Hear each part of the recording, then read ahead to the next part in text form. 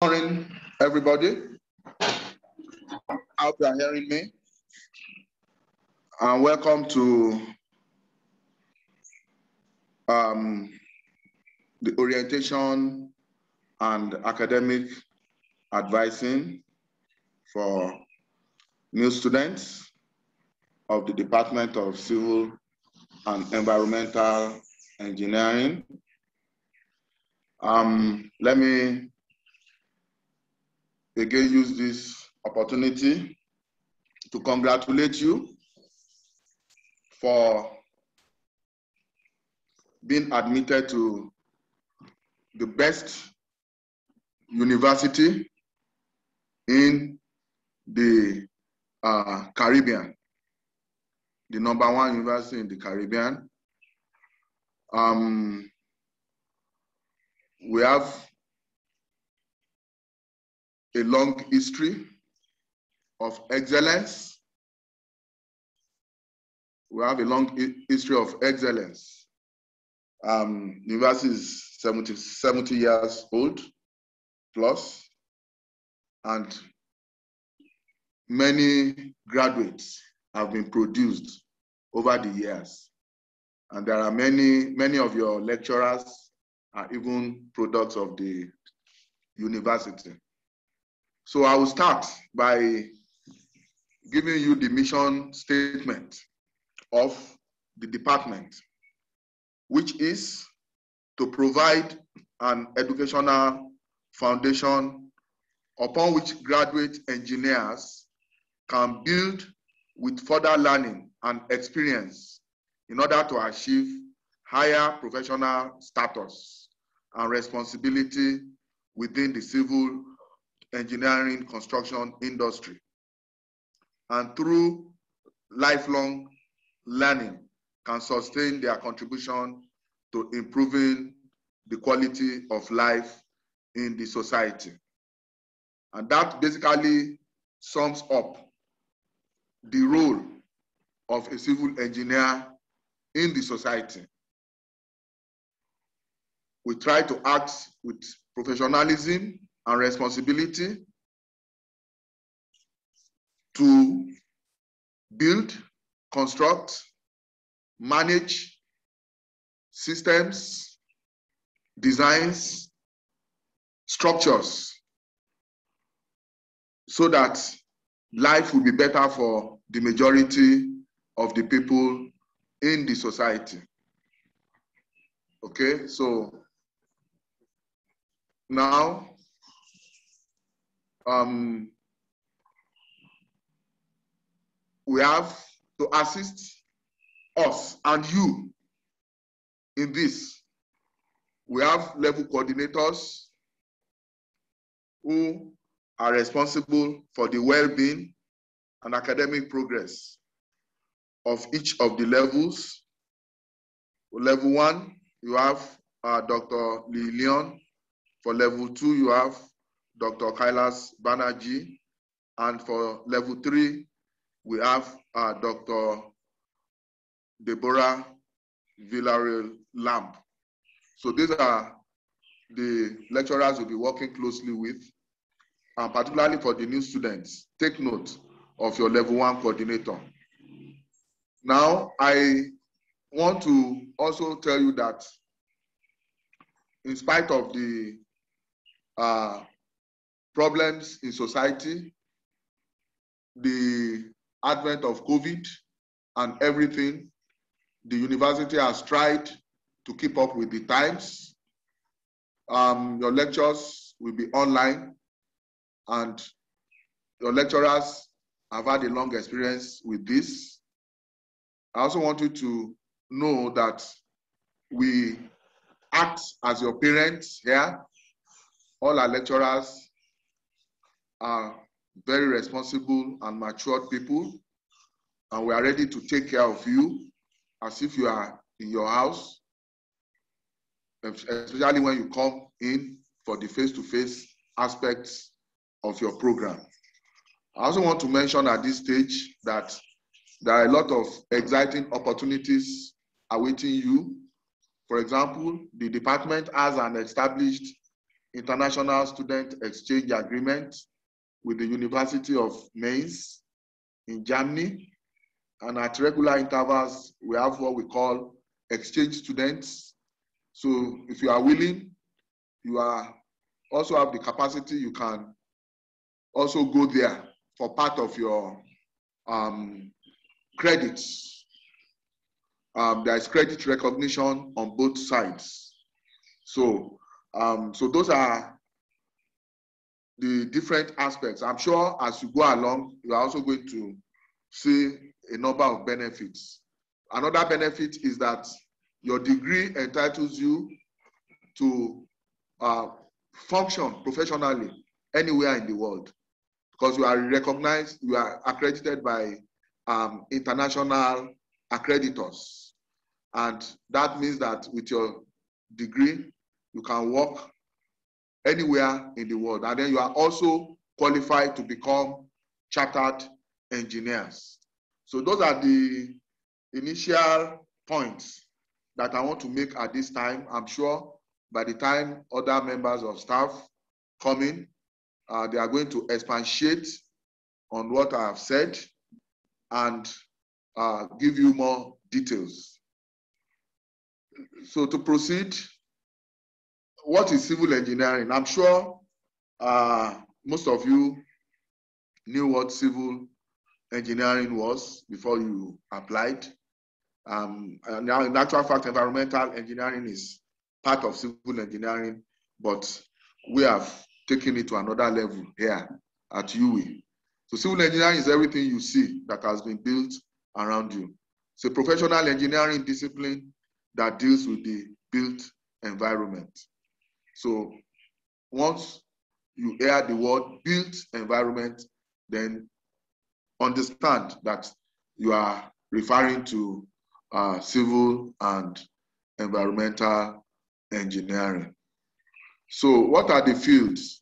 We have different fields in civil engineering. You have um, you have the uh, structural engineering, uh, which is design and construction of structures under which you have buildings, bridges. Of course, there are so many other types of structures that come under this. Uh, for example, and then there is overlap between uh, the uh, fields of engineering. You have transportation engineering, uh, where you design, operate, plan, and manage transportation infrastructure. You have roads, you have airports, so you have railways, and so on and so forth. Um, briefly, you also have geotechnical engineering, which is the study of the behavior of the earth and application of this knowledge into design of foundations, retaining walls and earth dams, and tunnels. So you have environmental engineering where you study water, air, and then the soil uh, properties, problems, and then you have to provide uh, solutions. You have water and wastewater modeling and analysis of groundwater quality, disposal of solid waste. Then you also have, as part of the, you have coastal engineering, study of the interaction between the sea and the land to provide engineering solutions. And uh, study of coastal engineering enables you to protect communities from the risks of coastal flooding and erosion. And you are very lucky. Um, coastal engineering is part of our diet in the Department of Civil and uh, Environmental Engineering. You also have construction engineering.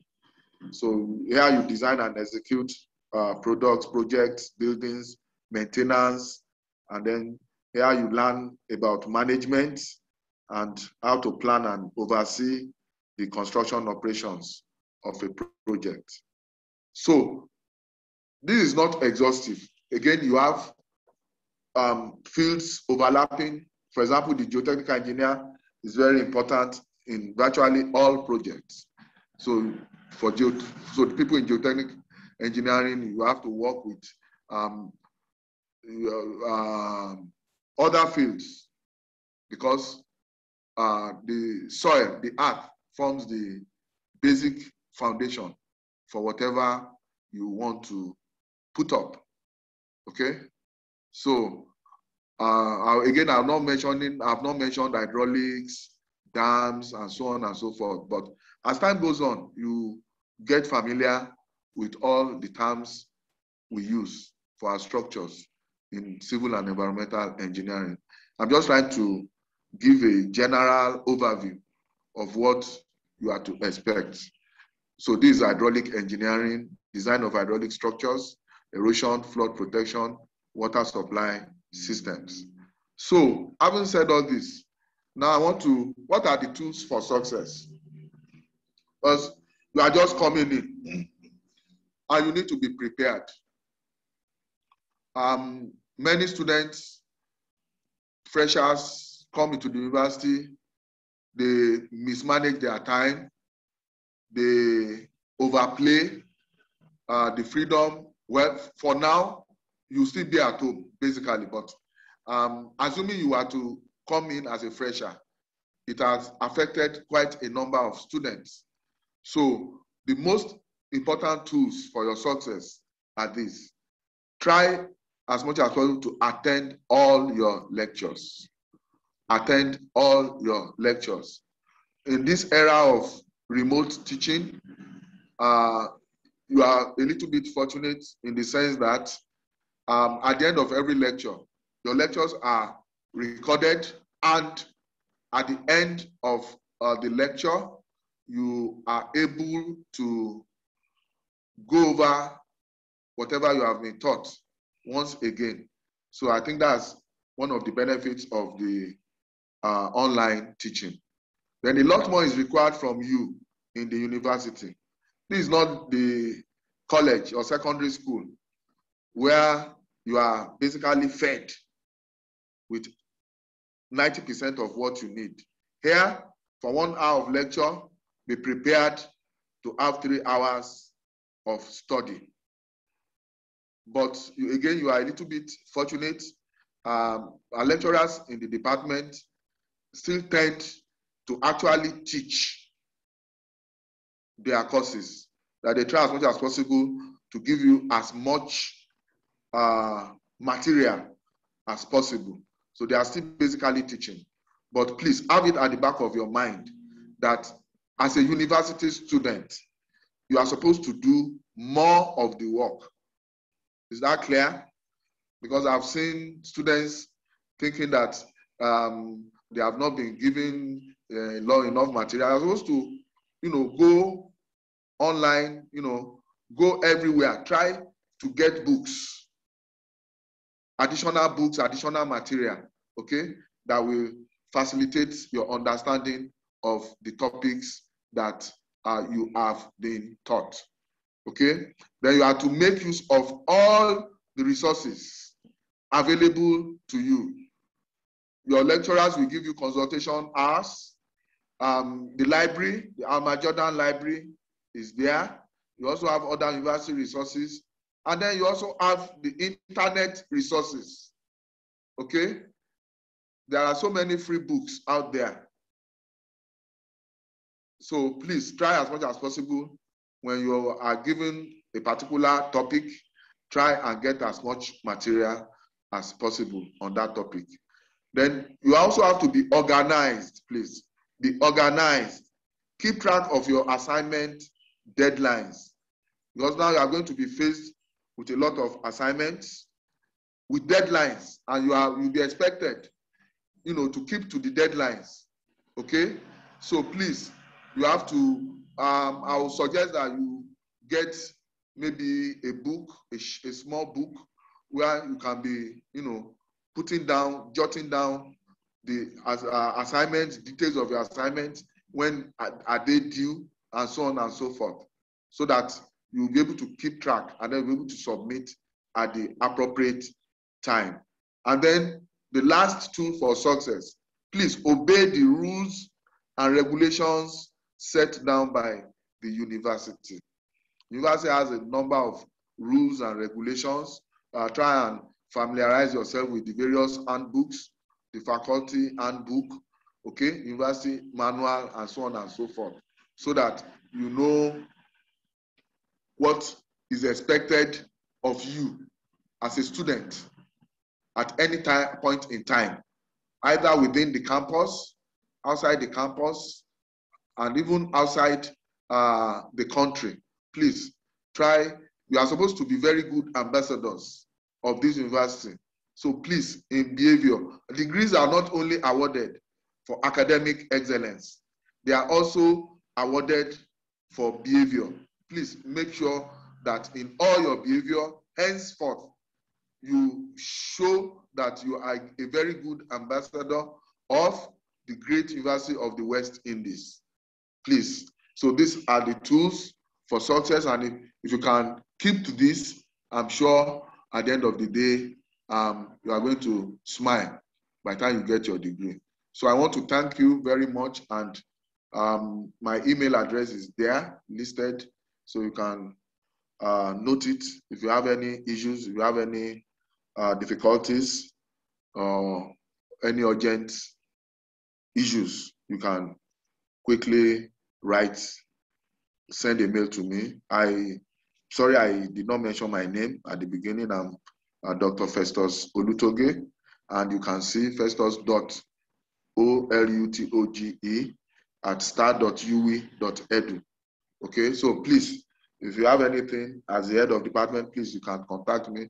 Although it will be easier for you to actually the first level of contact for you is your level coordinator.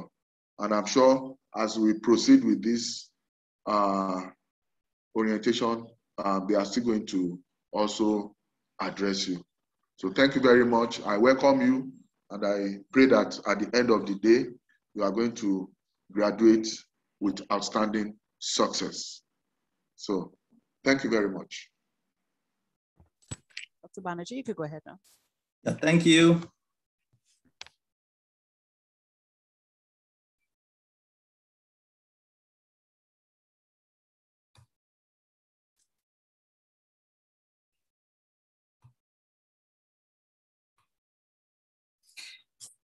Yes, so hello and welcome you all uh, to this small presentation on behalf of the Department of Civil and Environmental Engineering. My name is Kailash Banerjee. I'm a lecturer um, in the Department of Civil and uh, Environmental Engineering. Now, our head of the department already told you about what is civil engineering, okay? But if you look at the slides, you can see there are many other things which are present, okay? Um, and that is also a part of the civil env uh, and environmental engineering discipline, okay? And I put on the slides to show you that civil engineering is not only about construct buildings or bridges, but in modern context of the climate change, uh, civil and environmental engineering plays a major role in the global challenges. And you know, Caribbean can possibly the major victim for this climate change. Now, I want to give you an example from the recent COVID pandemic, which will indicate that we have a never ending need of this discipline of engineering. Now, during this pandemic, you have seen that there is a need for the foundations for global health, water, sanitation, and hygiene. And we all call it in short from WASH, W-A-S-H. And this WASH, this water, sanitation, and hygiene, this is not being adequately addressed in most part of the world, including some parts of United States of America also. Now, as civil engineers, we have an important role to play in supporting this in the situation, this global momentum by improving these infrastructures, these wash infrastructures, which are very, very important for the healthcare facility. So you can see that the need is never ending and changing on a regular basis, okay? Now I want to show you a small clip of what is civil engineering. Oh, sorry.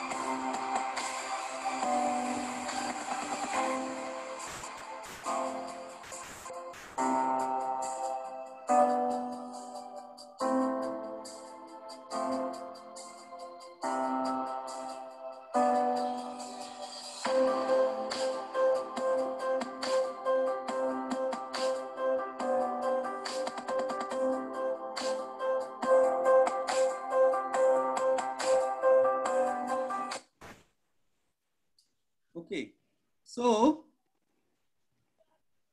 now the thing is, if you have the effort that you are doing the your studies over here, but if you have the wrong tools, you will have no results. Now, what I want to mean by wrong tools is by saying that not pursuing your degree in a accredited Okay, so why accredited program is important?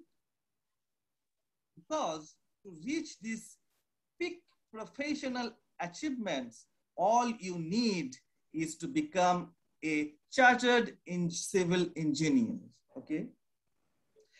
The title CENG is protected by the law as is the as it is the uh, title chartered civil engineer and is one of the most recognizable international engineering qualifications.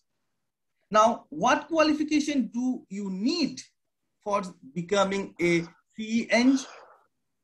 If you have one of the following, you already have the qualification uh, qualification you need for CENG. One, an accredited four-year integrated MEng degree or a bachelor degree which is accredited as CEng with further learning plus an accredited master degree. Now, in these two, okay?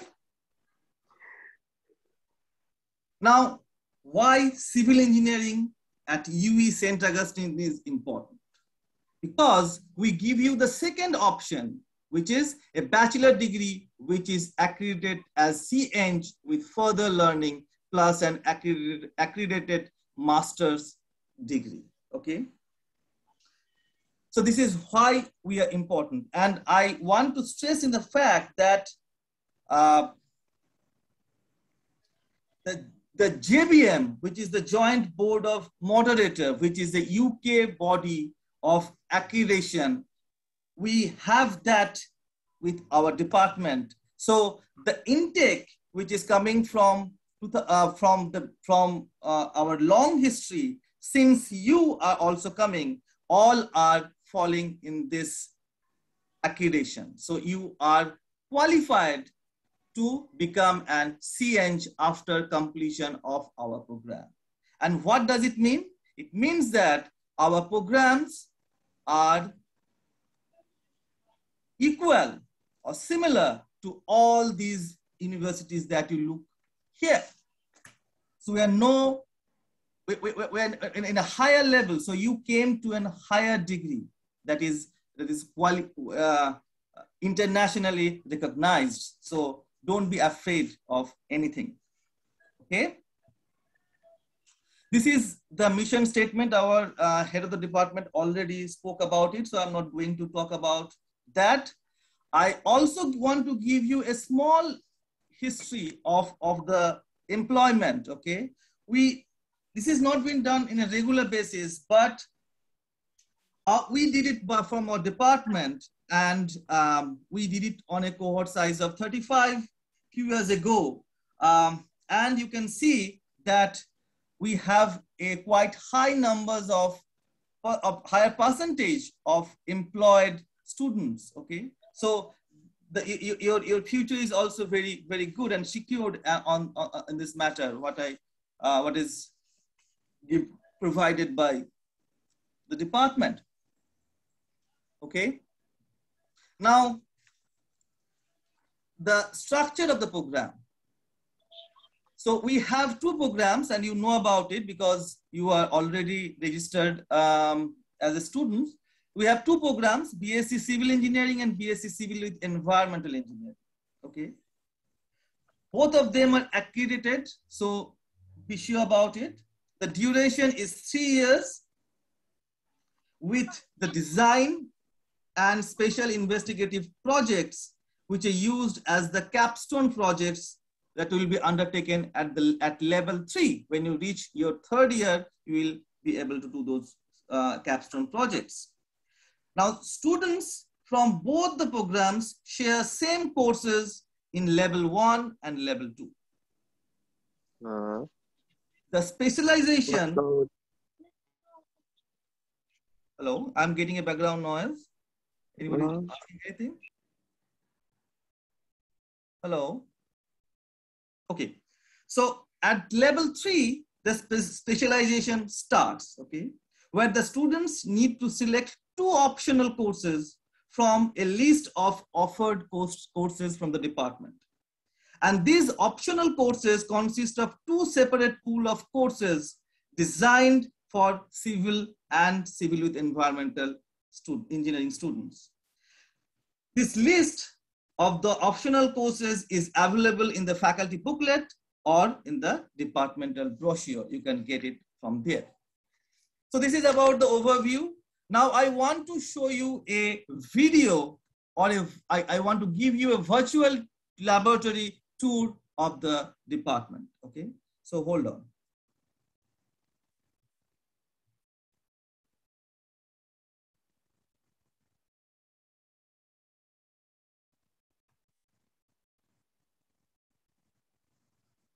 Welcome to the laboratory facilities in the Department of Civil and Environmental Engineering at the University of the West Indies. This short presentation provides a virtual tour of this highly interactive and stimulating learning environment. All of these laboratories follow the American Society for Testing and Material Standards, or British Standards. Let's start this tour with Structures Lab. Structural laboratory is located in the first floor of the engineering block two, which is also civil and engineering building. It has traditionally been used in the testing of structural systems like beams, columns, frames, and joints made of concrete, steel, timber, and masonry.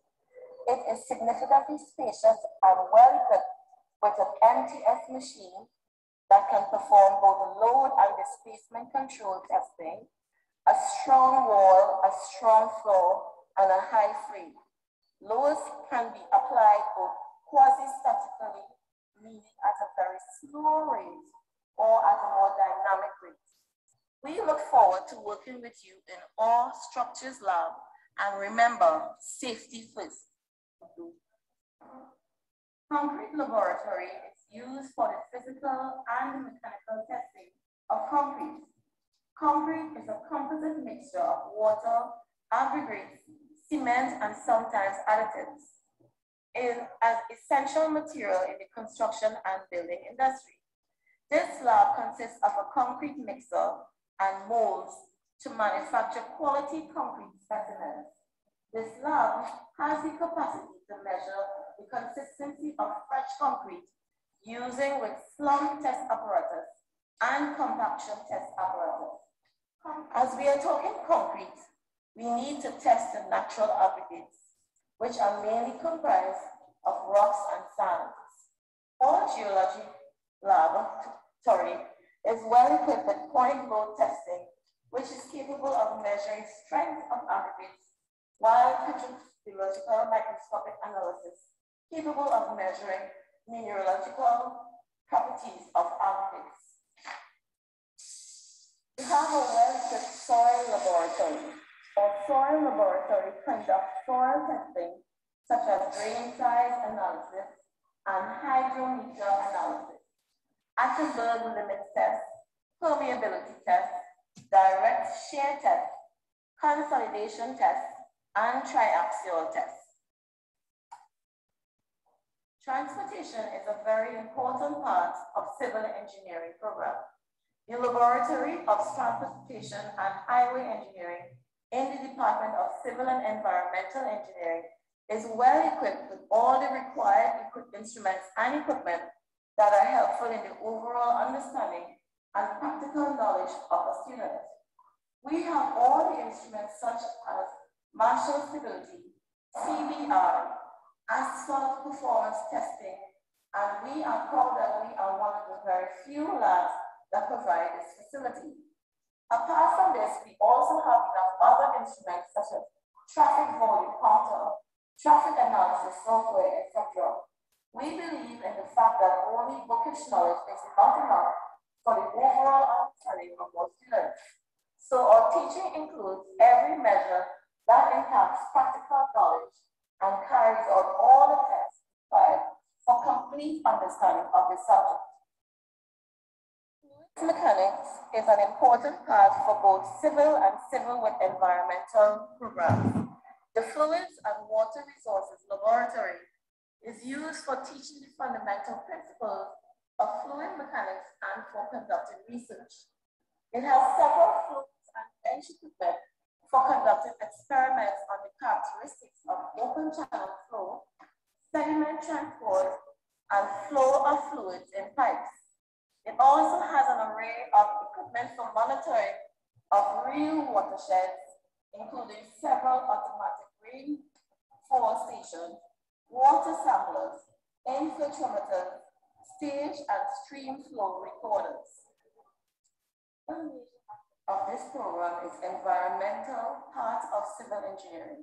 Environmental laboratory covers the basic principles governing water and wastewater treatment and show how these principles are involved in the design unit operations and processes for water and wastewater treatment, along with the general quality of raw waters and the standards required for drinking water and for wastewater effluents. The laboratory is also equipped to deal with a variety of wet chemistry testing, along with handheld and benchtop equipment for analysis of environmental compartments. We live in coastal areas and it is important to know the coastal processes and wave mechanisms. The coastal group in the Department of Civil and Environmental Engineering is equipped to execute field and laboratory work related to the assessment and collection of oceanographic and morphological indicators. In terms of field data capability, the department is well appointed to measure and current parameters, water level data, bathymetric data, beach flow, meteorological data, longshore current and coastal water quality parameters. The coastal laboratory has the ability to execute investigations using two-dimensional linear and random waves. Controlled experiments related to bed beach changes, wave loading, wave current characteristics can be conducted in a 10 meter long coastal wave flume, which is enabled with a state-of-the-art wave generating facility to support field work. Computer is more than an essential equipment of all work life. All computer lab provided core functions for students to do their research, creating technology-based projects, training, specialized software provided, IT support, and printing services. Some of the computer programs all computer lab offers are MATLAB, AutoCAD, ArcGIS, STAAD, MicByGuide, CDUS, Abaqus, and ASOM. Hope you have enjoyed this video. Thank you. Okay. Um,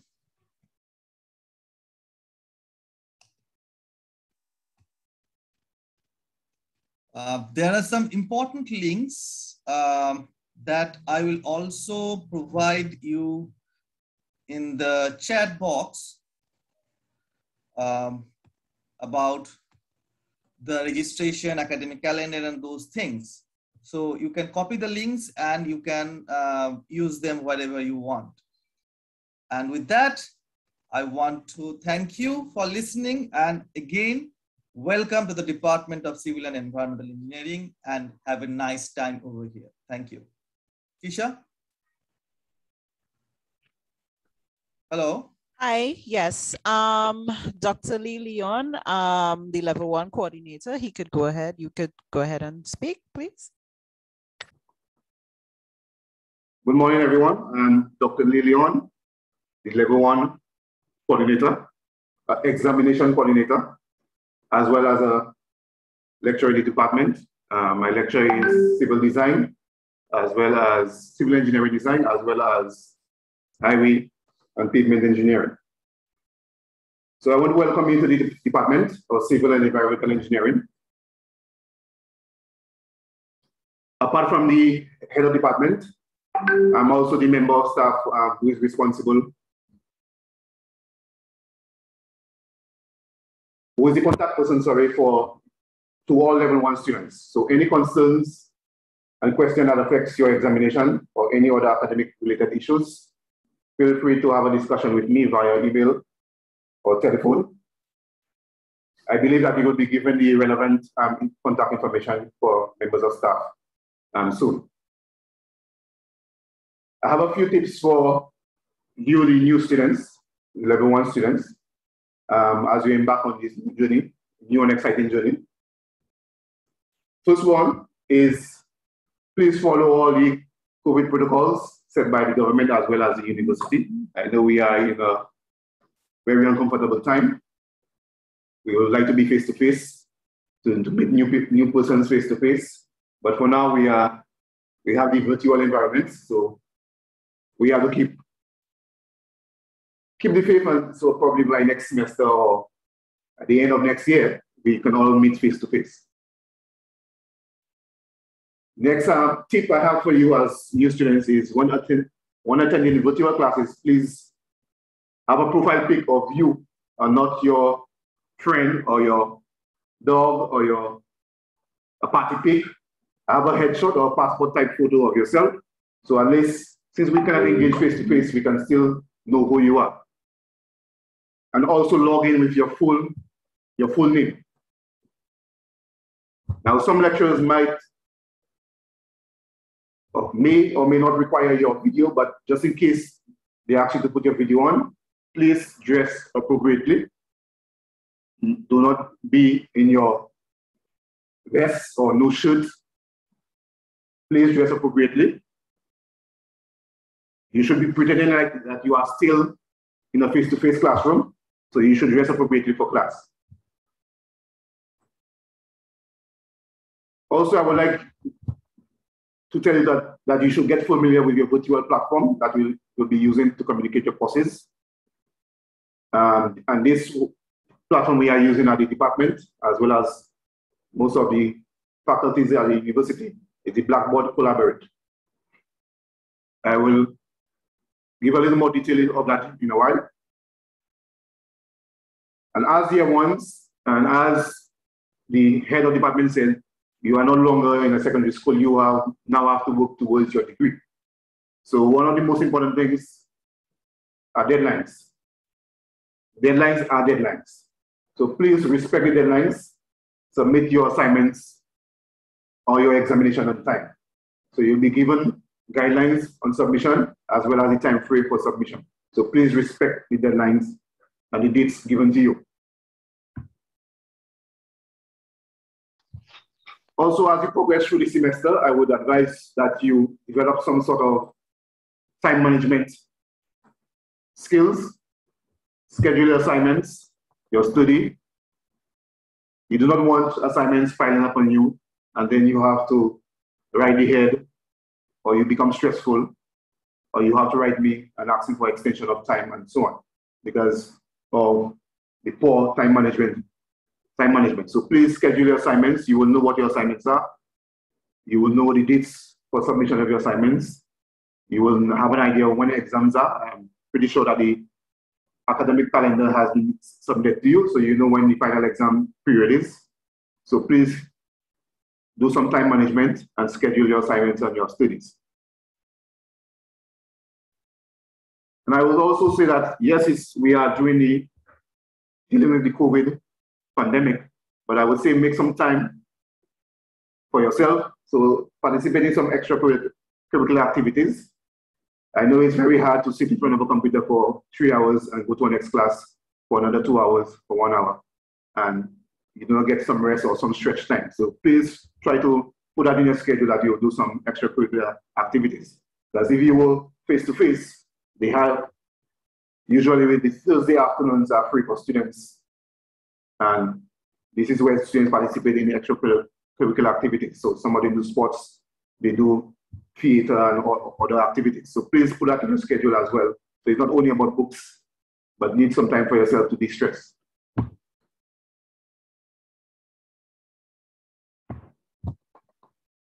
I am also the, as the level one examination coordinator, I'm also the chair of the student staff liaison committee. And this committee has representatives from all levels, level one, level two, level three, or some, as some people call year one, year two, year three.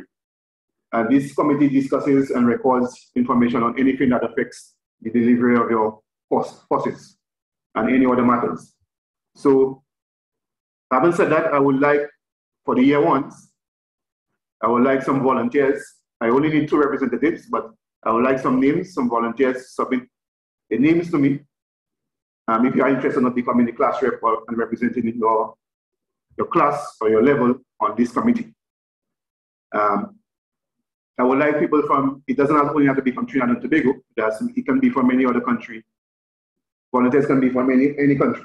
So St. Lucia, Trinidad, Antigua, Jamaica, just feel free. Um, so send your names, email me your names. Uh, my email address is lee.leon at sta.uwi.edu. Uh, put it in the chat. So feel free to, if you wish to be a class rep, just send me your name and your contact information. Just want to share my screen to give some guidelines in, in, for the new students in accessing my learning.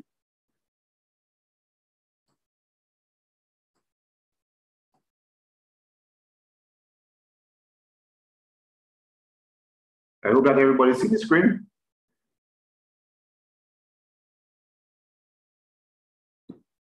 Are you see the information? Just can somebody just let me know? Yeah, we yes, can. sir. Okay, no problem. All right, so to the new students, your platform you're going to use for the delivery of the courses, and as well as accessing the content of your courses and information, um, notes and so on, is My Learning. So in order to log into my e-learning, you must first be financially cleared. So you must register and be financially cleared to access my learning. You will not be able to access my learning if you are not registered. All right? So on the My Learning, when you log into the My Learning platform or, or website, you will see staff and students. So you will have, you'll click on the students part of the, the student section, and it will bring you, it will ask you for your, sorry, for your ID number and, the, and your password. Now, this is the ID number you'll be using throughout your time at the university. And even if you leave and you have to come back a few years after to do masters, you'll be using the same ID number. All right, so you'll be given an ID number when you complete your registration. And then you'll be given the password. Usually the password is a generic until you, you have to change it. So your ID number and your password will give you access to My Learning. Now to access the, the lecture, uh, as I previously said, we are, we are going to use Blackboard Collaborate to do lectures. So this is the icon for the Blackboard Collaborate, purple icon with two arrows. So you click on this item, the icon, sorry, and then you'll be able to log into whatever lecture session you have at the particular time that the, le the lecture is scheduled for. All right, so remember, you must log in with your student ID and your password. And then when you get to the course, whether it's, for example, CVNG 1016, Introduction to Civil Engineering, you look for this icon, and then you click on it, and then you'll be able to access the class, right? So, um, as I said before, now you, you can also um, learn how to use Blackboard Collaborate, and you can just Google it, um, Google it or go on YouTube and type in Blackboard Collaborate, and it will give you an introduction to Blackboard Collaborate. Also, please note, as I previously said, that when logging into classes, have your, your name, and if you are upload, uploading a picture, make sure it's an appropriate passport um, type photo. No photo of yourself um, in a party or a dog or your family and so on. Photo of you, all right?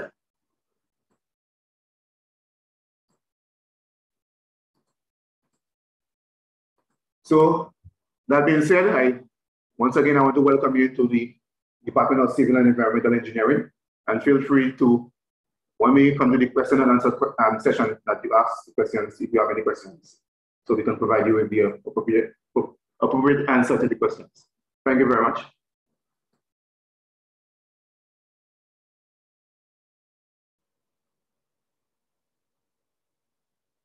Good morning, ladies and gentlemen. Um, for some of you who may have missed, um, it's been a long session. Um, it will be posted on our website. So in case you forgot anything or can't remember, feel free to go on our website and you'll get the full orientation, orientation session from this morning. Thank you.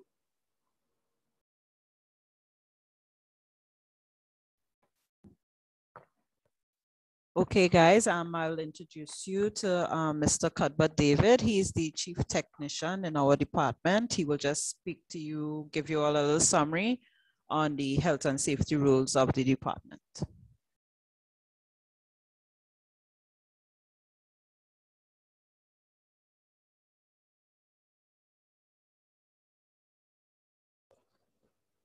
Hello, one and all. Can everyone hear me?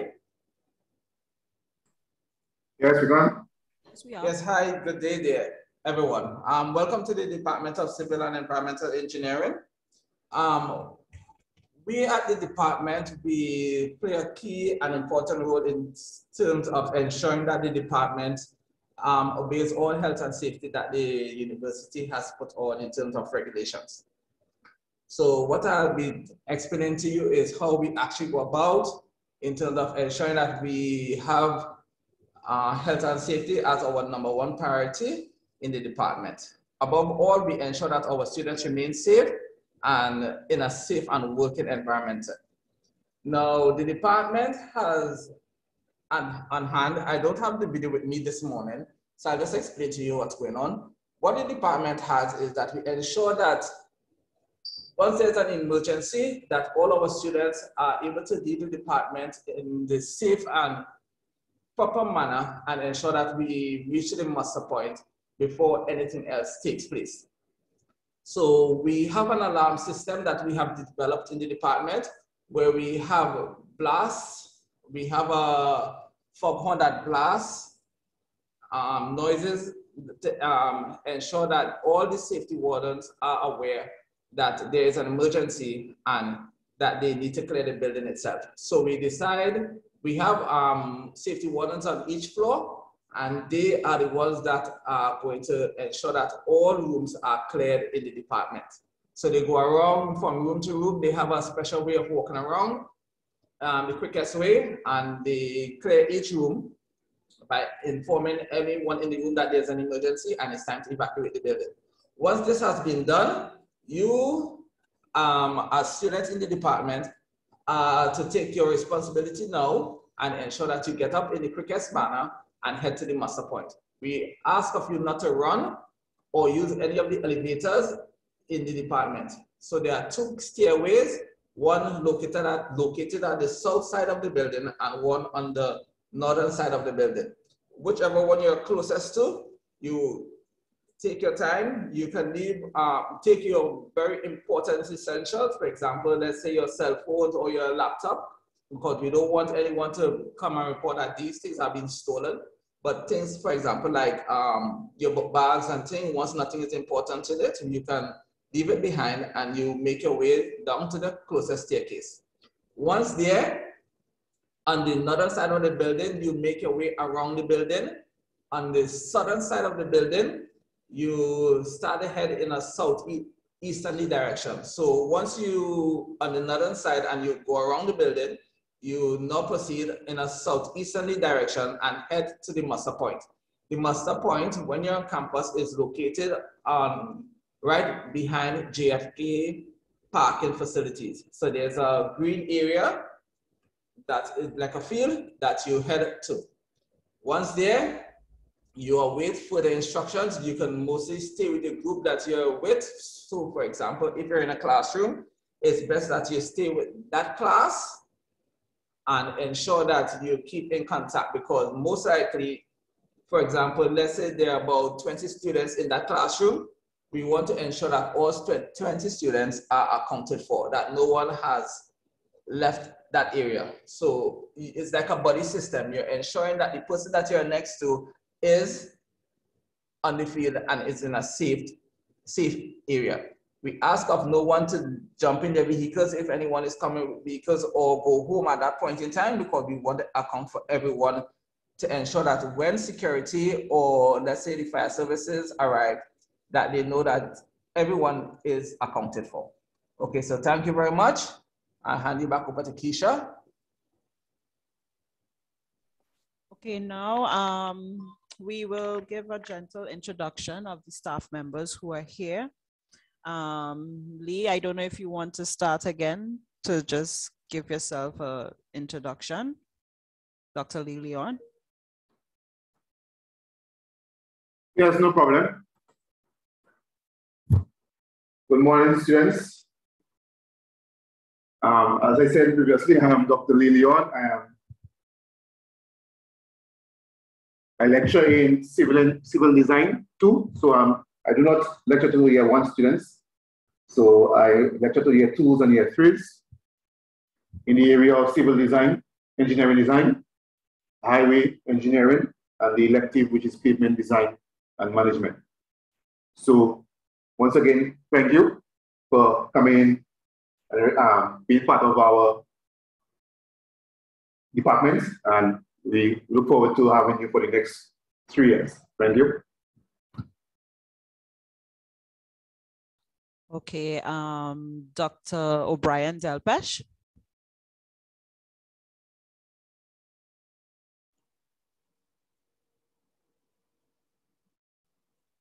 Good morning, ladies and gentlemen. My name is Charmaine O'Brien Delpesh. I'm a coastal engineer by training. So I'm the program coordinator for the Coastal Engineering and Management program. So I would not be in contact with you until probably you start your level three and you're doing your SIP or your design project, or you come on to do the MSc in coastal engineering and management. So um, do enjoy your stay in next three years here. All success. Thank you, Dr. Delpesh. Um, Dr. Villarroel. Good morning, everybody. Um, um, my name is Deborah Lamb. I'm a lecturer specifically in coastal engineering. So you will get to see me only if you do the option in one in, in year three or in level three.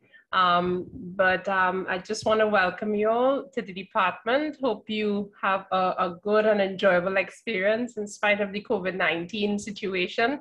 Hopefully we'll get to see you all in person soon. And um, for the moment, just enjoy um, the time and enjoy the learning as you go through and start on this academic journey. Thanks, bye. Thank you, Dr. Lamb. Um, Dr. Javanka Smith. Pleasant good morning to everyone. Um, my name is Javanka Smith. I will be interacting with you um, in levels one, two, and three. I'm a part of the structures group. And I look forward to seeing you all. Welcome to the department and uh, good luck with everything. Thank you, Dr. Smith. Um, Dr. Kailas Banerjee. Yes, hello. Uh, good morning and welcome you all. My name is Kailash Banerjee. I will be teaching you level one, level two, and level three, all the levels. I'm also the um, your special investigative project coordinator. So definitely we are going to meet in level three, but for level one, I'll be meeting you next semester with, with the geology and in level two, I will also meet with you in engineering hydrology and also for ship design too. So welcome you all and have a nice time over here. Thank you. Thank you, Dr. Banerjee. Dr. Vincent Cooper. Hi, good morning, everybody, and welcome to the department. My name is Vincent Cooper, and I lecture in mainly environmental engineering and water resources, along with my colleague who will introduce himself soon. I would not be teaching you until level two, and I will continue meeting with you in level three so that we can work towards solving this particular very important problem in Trinidad and Tobago and in fact in the rest of the Caribbean, namely flooding and I hope that by the end of your three years, you would realize the importance of civil engineering towards solving flooding in particular, uh, flooding, but not only flooding, but also the other problems we have in the society. Take care and I enjoy, I would enjoy, I look forward to meeting you all in person um, as soon as we get over this pandemic. Thank you, Dr. Cooper. Um, Dr. Mwasha. Good morning, ladies and gentlemen.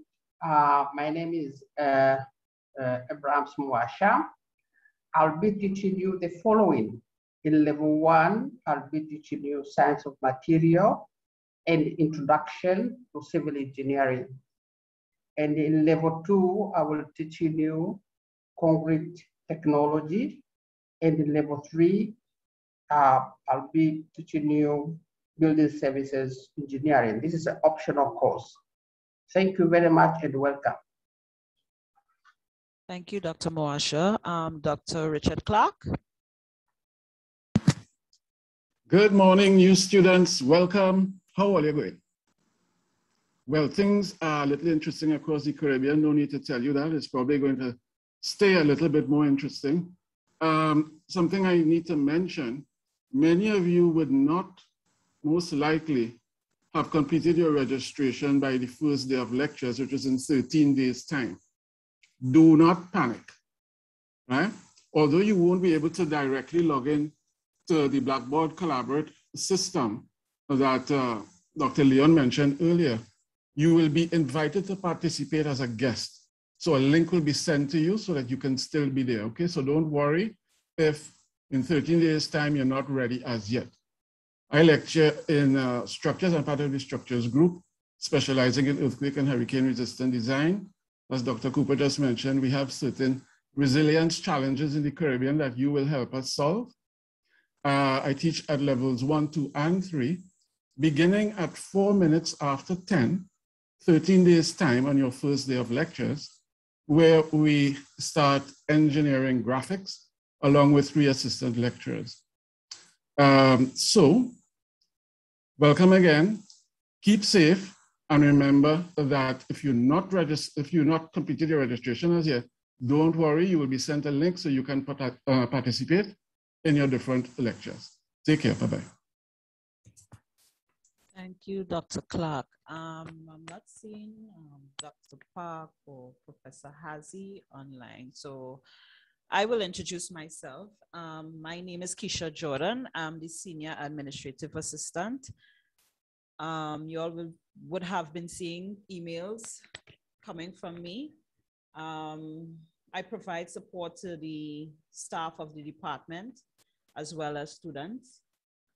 Um, my advice to you all,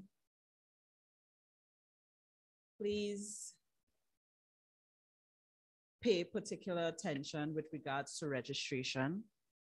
Um, payment of fees is very important because you would not be able to access any services from the university if you do not pay your fees. Um, what again? Just went back. Um, yes, so if you have any problems, please feel free. We have an open door policy. Please feel free to contact me. I know we can't see each other face to face, but please feel free to contact me. Myself and the secretary, Miss Alyssa Valentine, she's not here today, but please feel free to contact me. Um, from September, I know you all are encouraged to use your UWI ID. Please start to use that um, UWI ID um, UWI email, sorry. You're very much encouraged to use the UWI email as in the past they had some real difficult times with personal emails. So please use your UWI email to contact me. Um, with regards to the Blackboard, I will send you all the information. I will send, I will send this afternoon, I will send all the information. So according to Dr. Clarke, do not panic. Everything will be okay. So, um, yeah, um, enjoy your studies. It's going to be tough. It's going to be hard, but at the end of the day, enjoy your stay for the next three years here. Thank you. Um, if anyone have any questions, you're free now to, to open your mic. Kisha. Hello. Hi, Kisha. Hi. Yeah, uh, I have one more information to share with them. If sure, um, go ahead. Yeah, go ahead. Yeah, thank you. Um, I don't know uh, how many of the level one students doesn't have any CXC chemistry. Um, can you, if or, or if I say those who has doesn't have any CXC chemistry, can you raise your hands?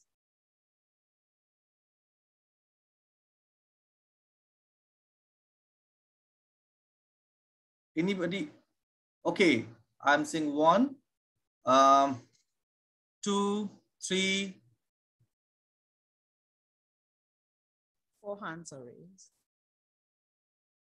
Okay, four hands. Okay, so uh, what you need to do, uh, first intimate the department. So send an email to our admin who just spoke to you, uh, Miss uh, Keisha Jordan send an email mentioning that you didn't possess the CXC chemistry.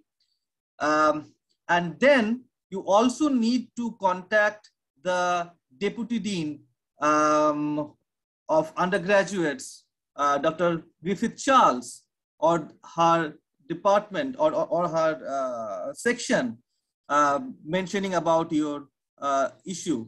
And I think they will guide you. But what I know that you need to uh, do a course maybe with the Faculty of Science and Technology or maybe the CSEC outside, do a uh, chemistry course during the during your level one. So please contact the uh, Deputy Dean, um, Dr. Griffith Charles, send an email and intimate that email to the, or copy that email to uh, our admin assistant, Miss Keisha Jordan. Is it clear? Those four I'm seeing, Tariq, Stefan, and Nathaniel. Is it clear to you? Yes, sir. Okay, yes, sir. Thank you. Thank you.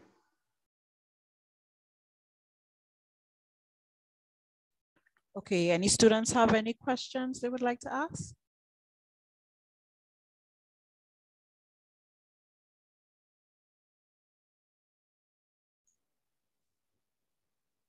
Hi, Keisha. Can I just introduce myself? Sure. Hi, everyone. My name is Cuthbert David. I'll leave you out. Again, that's not a problem, Keisha. I know you were really busy. okay, guys, I'm the chief engineering technician for the department. Okay, so what does that mean? That means my job basically is to oversee the running of all nine laboratories that we have in the department. So the work that you're going to be doing over the next three years wouldn't only be theoretical, but there will be a lot of physical work taking place also in terms of you'll have a physical understanding of what goes on behind the theories. So we have all laboratories set up with all nine disciplines so that you can be able to understand what is going on. So my job is to oversee the running of those laboratories. So we, I ensure that they are managing, the managing, the training, any troubleshooting, calibration of equipment, everything that needed for those laboratories. That's my job. Additionally, I assist with the concrete and structures laboratory because of my experience. I help with those laboratories in terms of testing and uh, teaching laboratories there. So you'll be seeing me basically over the next three years because every single year there will be some sort of lab taking place in the structures or concrete laboratory. And as you see, my job also is to assist with health and safety in the department. That's why I was asked just five minutes ago to give a little update on terms of OSH in the department. But my job is basically to ensure health and safety of each and every one in the department as we go along. So I I would like to welcome you all to the department over the next three years. Thank you. Thank you, Mr. David. Um, yes, as I was saying, if anybody have any questions, please feel free. I know you all may be shy.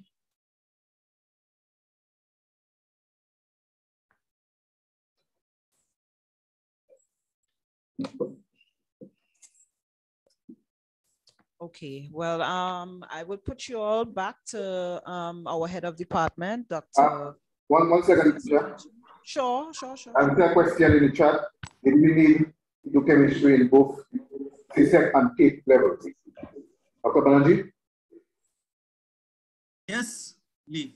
Yeah, there's a, yeah because I, I think they, they want to know whether if they did CSEC or CAPE, whether they still have to write to the um, deputy dean. So let's provide Yes. Yes, they need to send an email and copy that email to the department.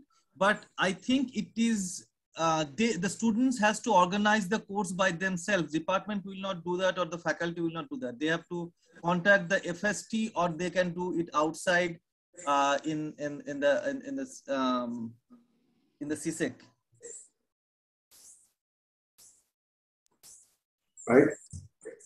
I guess that answers the student's um, question. Yeah. Keisha? Keisha, Deborah here. I see some hands up. I don't know if they want to ask a question. Brian Payne, Anna, Joanna, I don't know if they want to ask a question. When Dr. Um, Banerjee was asking who has the chemistry, I think those hands were up Oh, yes. at that time. Okay, no problem. Hi, no, um, look, Brian. I actually have a question that I'd like to ask. sorry. Sure, go ahead. Sure, no Um, problem. So last week at the faculty orientation, it was mentioned that international and regional students may have to come into Trinidad to do labs and online exams, but we were told that we'd be given an update um, in this orientation, but I haven't heard any mention of that. Um, because, for example, I'm not from Trinidad, I would have to fly in, but throughout my registration process, I was told that the classes, well, everything would be online. I wasn't told that I have to come into Trinidad. So um, how will that issue be solved? Do I have to fly into Trinidad?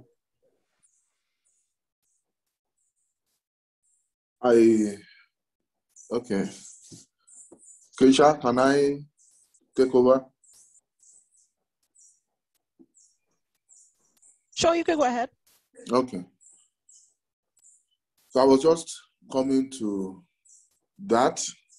Um, the last uh, information I have on this um, is that we maintain the status quo as per last academic year. I just got this. All lectures and tutorials should be offered online. Now, all labs which can address the learning objectives via online should also continue in that mode. Okay? So, where necessary, where necessary now, that's where necessary. We should run lab workshops, field work, face to face, with the necessary COVID 19 protocols. So, the point is that we are, unless it is compulsory, we are, it is not mandatory to do face-to-face labs. Okay, so we are told to maintain, still maintain the status quo. That is what we did last year, which was online labs. Now, with respect to face-to-face examinations, these examinations are not going to come up until November, late November, stroke December. So, and before that time, we'll, we'll be monitoring the situation.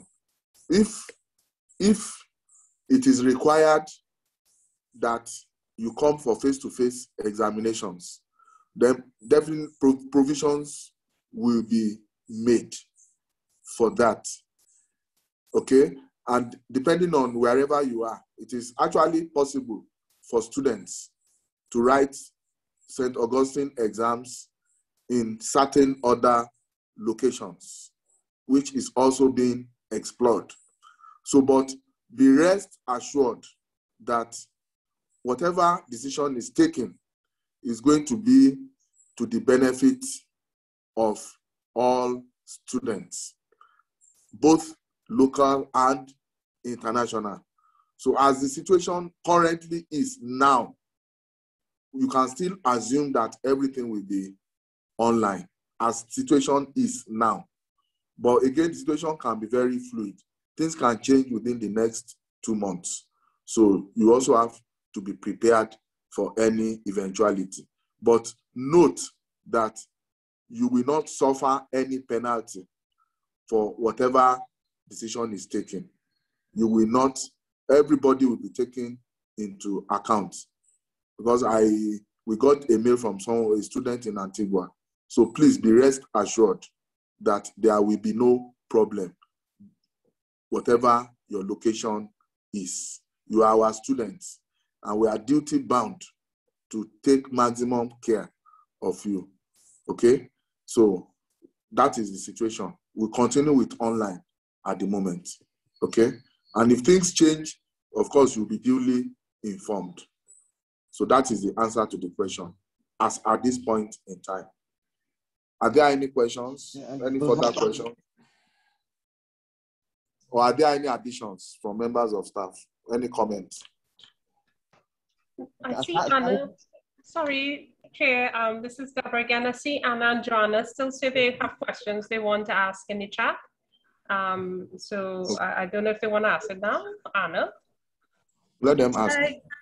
Hi, good day, everyone. Um, so I was wondering because I went onto the registration website and uh, all the level one courses, the times I see are either 12 p.m. to 1 p.m. or to be announced, and I don't see the days. And I know when um, registering for your courses, you have to take, make sure they don't clash or they at the same times.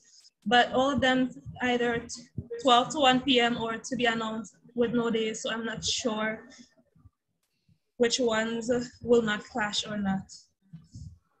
No, your lectures, your lectures will not clash. Don't be bothered. the most important thing is get the courses listed and registered. That is the most important thing.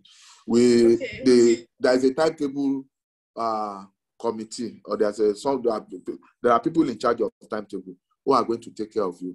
Lectures will never clash. Don't worry about that. Okay, That's so, you, so it doesn't matter. It doesn't matter which one I select, right? Um, let me let me just do okay. this. Um, Ed. Yeah. Yes. Um. Yes. So basically, I'm I'm doing academic advising one time. So okay. you will. Have, Very good.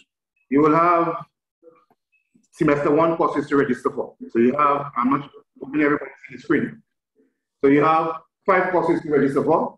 CVNG 1005, Science and Materials, CVNG 1009, Engineering Graphics, CVNG 1016, Introduction to Civil Engineering, CVNG 1013, Introduction to Engineering Mechanics, and CNGR 1180, Engineering Mathematics 1.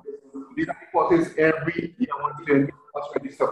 So you cannot say you're registering for two and next two or next three next year. You register for all. And when you register on the registration platform, you will see SO1 and SO2. You only register for SO1 courses. Okay. CVNG 1005, SO1. SO1 option. CVNG 1009, SO1, and so on. So SO1 courses, and you are registering for these five courses there. The timetable and will be sent to you those, for those who are not received. There will be no clashes with your courses. So in terms of registration, do not worry about the clashes of, uh, of, of courses. This will, this will not happen. Your, your timetable will be subject to you. You will know what times you have to go to the class, whether it's virtual or face-to-face. There will be no clashes of, uh, of your classes. Okay? So that, does that answer your question? Yes, thank you. No problem. Thank you, Dr. Leon. Any other questions? Be excused. Again, there's a question in the chat. I don't know if you want to reinforce for Ricardo. He wants to know if there'll be any other opportunities to interact um, concerning advising for registration of courses. I know you just did some. So I, I don't know if you just want to emphasize what you said earlier um, with contacting who. I, I, I, I think we have given out uh, sufficient information. You are free to contact any of us at any time. I receive mails all the time. And if I cannot attend to it, I'll definitely push it on to somebody who can attend to it. So there is no problem. If you, uh, even immediately after this um, advising, if you have any, or you remember something that you wanted to ask, you can quickly send a mail to either your level one coordinator, the administrative, senior administrative uh, uh, person and or myself. So we are there. You know, we are here because of you. So definitely, whatever comes up, we, we are ready to, you know, get it done for you. And just just to reiterate ahead, um, you only register for semester one courses. Every semester you have registration to do. So you do not, do not register for semester two. You only register for semester one after the completion of semester one, for your new semester, you will have to do registration. All right, so only for semester one, you register for, you register for semester two. Okay. I hope that is very clear. Uh, if I may add, mm.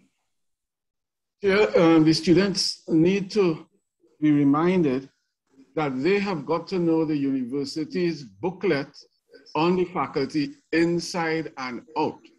Yeah. You must know that like the back of your hand because it forms your contract with the university.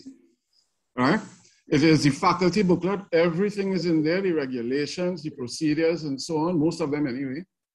And it is a requirement. At your case, in your case, it is very easy in terms of registration. You simply have to register for all the courses you see there listed under semester one, as Dr. Leon just said. But it is critical that you must know that book inside and out, it is your contract with the university, all right? Thank you very much, uh, Dr. Clarke. I believe in my welcome address, I briefly mentioned this. please, um, these books are online. These booklets are online, or they will be online, if not online already.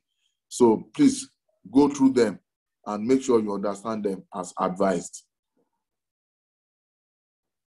Are there any other questions?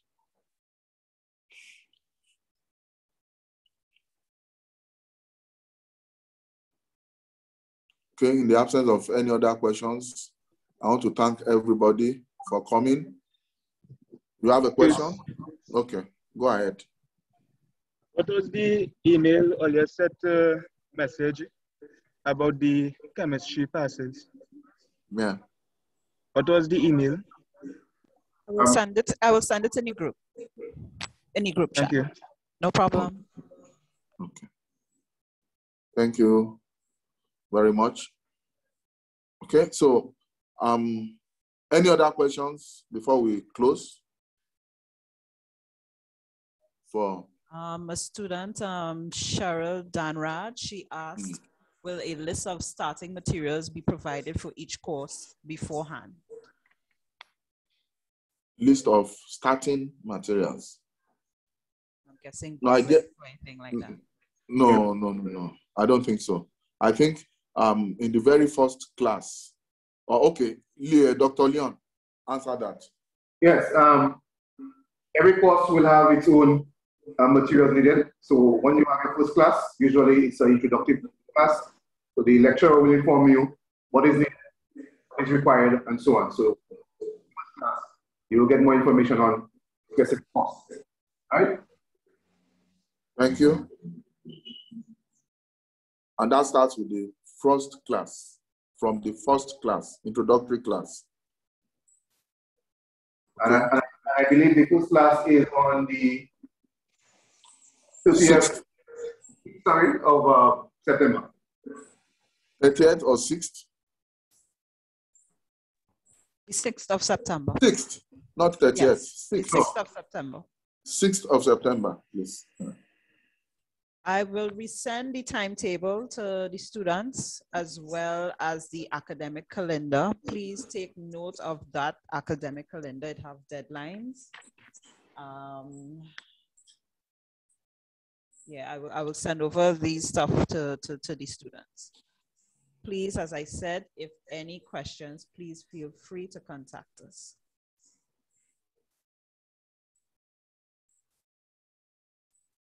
Thank you, admin. Any other questions? Any other comments? Okay, so um, you can continue to interact with us online via mails, and subsequently, by time you interact with your lecturers, you get their phone numbers, so uh, so that you can contact contact them. Um, again, let me again this opportunity to welcome you and wish you um, an enjoyable and successful stay um, in the University of the West Indies. Thank you for coming. And we are also looking forward to see you, seeing you face to face when the pandemic ends. Thank you for coming and God bless you all.